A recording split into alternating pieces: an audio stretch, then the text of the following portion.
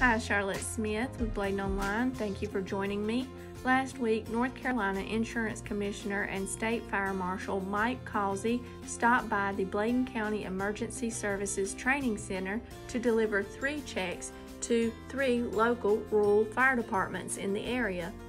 Johnny Parks, Fire Chief with Carvers Creek Volunteer Fire Department, accepted the check for the Carvers Creek Fire Department.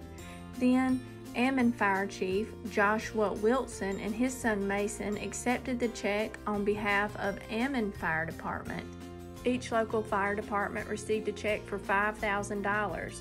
In May, Commissioner Causey announced that Blue Cross Blue Shield of North Carolina donated $500,000 to assist rural volunteer fire departments as part of their Rural North Carolina initiative for 2020.